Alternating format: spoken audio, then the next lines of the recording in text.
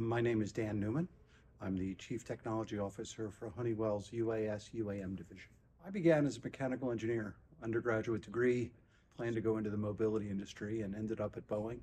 And they asked me if I'd go to their helicopter division. And as I'm walking around my first day, I'm at the flight ramp, and there's a Chinook, you know, 53,000 pound helicopter hovering 100 feet off the ground, nose down. It's got four landing gear. It looked like a cat being held by the scruff of its neck, and I could feel it beating in my chest. And uh, I was transfixed, and I was just awestruck by that capability to hover. It wasn't just, you know, a couple hundred thousand parts flying in formation, but they were rock steady. It was incredible, and I was hooked. So I've been uh, just a fan of vertical flight since. It's been an incredibly complex and rewarding time. Drew brackets, uh, but I found I wasn't suited to the detailed design work. I didn't have the patience for it. Uh, but I could sketch. This was before computers. The drafting boards came up to here and the smoke came down to here, and all you could see was a sea of white short sleeve button down shirts and thin black ties. Um, and I could sketch, and I did uh, isometric drawings by hand for the tech pubs, and they decided they'd make me the apprentice for the configuration designer who had about 45 years in the business, but was losing his eyesight. It was an extraordinary opportunity, and I learned at the knee of one of the best. And I moved, worked my way to be the configuration designer for a new Army Scout attack helicopter that became the Comanche. Had an extraordinary opportunity. Um, couple years working on that in partnership with Sikorsky, and then left the company to start a small startup and go to grad school, get an aero degree, because I felt I needed that background to continue in the fields. So I got a degree in aeromechanics at the University of Maryland.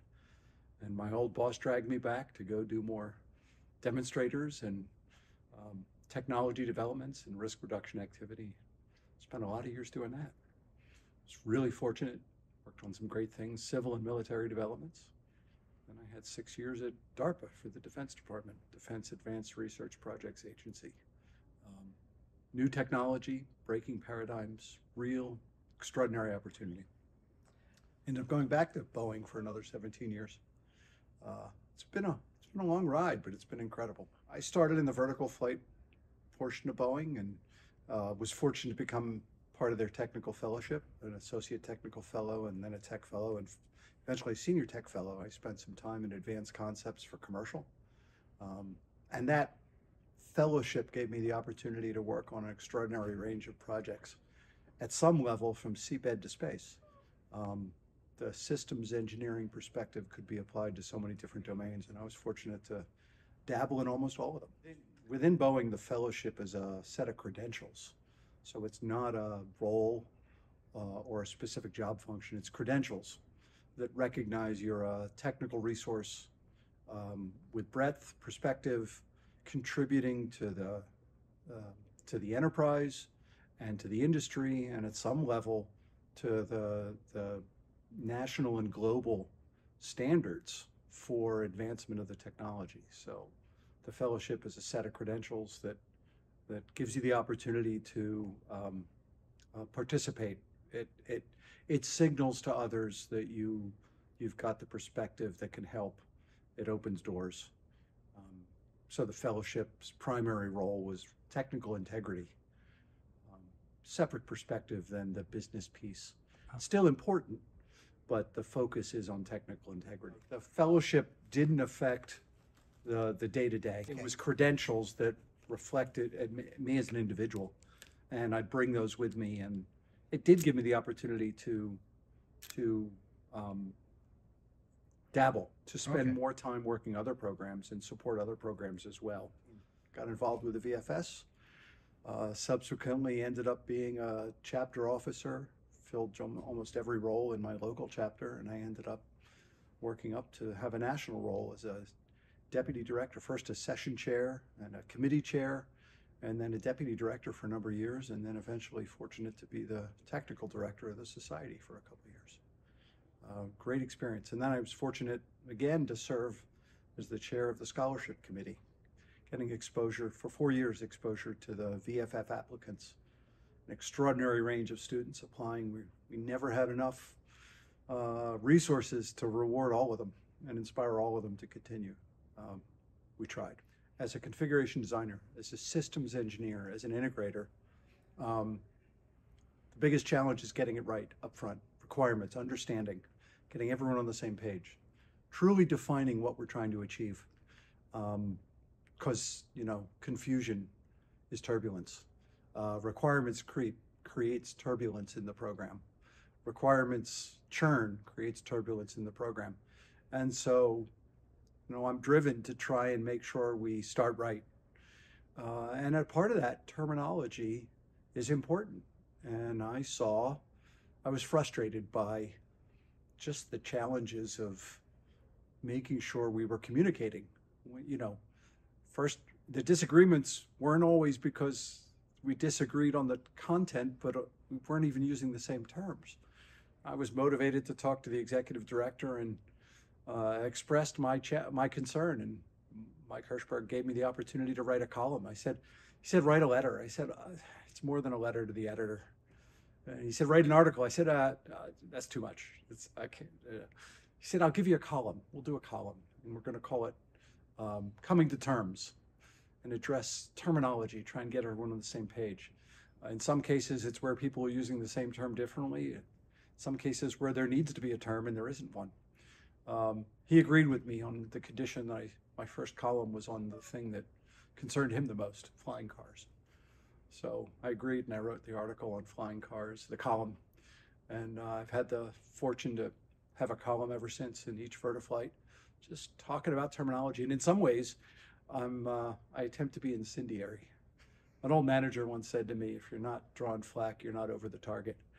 So uh, I'm not professing to know the answer, and and some of this terminology has to be consensus among the industry. So my goal is to get a conversation started, and so I write the article in a way that attempts to define a term, but also invite rebuttal.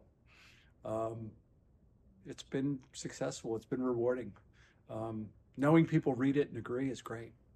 Um, I'm not getting as much pushback as I thought I would, so I'm either on target or so far off it's not worth their time. But it's been a great experience.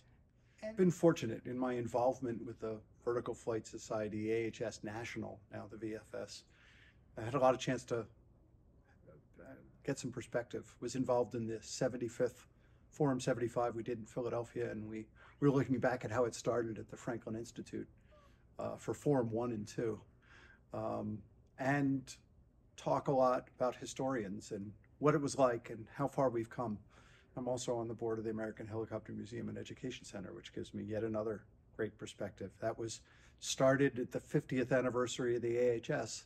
It was one of the ideas to come up with honoring the 50th anniversary, but it was decided to be a separate entity so it could be spon- uh, sponsored and supported by more societies. So the legacy of the museum is part of the VFS history. And uh, so I've been involved with the museum and involved with the VFS, and it's amazing how far we've come in terms of the tools and the capability. We have data, you know, they talk about machine learning. We've got data that allows us to have trends and and track the state of the art and really know that we're doing better and look back at what really were generational shifts. Um, it's still uh, frustrating to be the redheaded stepchild of aviation, which is the redheaded step stepchild now of aerospace. You know, big money goes to space and smaller money goes to aviation, and only a fraction of it goes to vertical lift. And but the urban air mobility is is resurrecting the recognition that runway independence is an incredible capability. For years, people have said to me, you know, why are helicopters so heavy? Like, well, every aircraft design trade is an onboard, offboard trade. Should I carry that with me or should I leave it at the vertiport? Should I make the airplane a little heavier and have more adaptability or should I rely on others? And vertical flight is just a runway trade, onboard versus offboard. I either rely on a runway being there or I make a more complex aircraft that doesn't need one. And so comparing vertical flight to airplanes is like comparing apples to orangutans. Uh, they're different. The vertical flight capability, it's, it's now getting a new recognition, but, but it continues to be hard. They're very complex machines. They've still got wings, but they're rotary wings. And uh, I, it's frustrating that people don't recognize how hard they are, but in the end, the users don't care. They don't, they don't care how hard it is. They just want the capability. So it's on us to, to do it, to do it right, to make them safe, try and make them more affordable, but always make them safe. To inspire a young engineer to consider vertical flight as a career, um, you know, I'd ask if they're up for a challenge. Um, vertical flight, even as they try and simpli- simplify it with electric power systems, is still immensely complicated. It's the confluence of structures and aerodynamics and dynamics and thermal, uh, air breathing. Um, incredible number of disciplines that must be integrated to solve the challenge. Um, as Sergei Sikorsky said, you know, the birds have it right. It's better to stop and then land and not the other way around. Um, so the capability is incredible. The challenges are hard. Um, it's funny when the fixed wing folks say their job is hard. Try rotating it at 400 RPM with 8 to 12, 800 to 1200 Gs at the tip. Yeah, and we'll talk hard.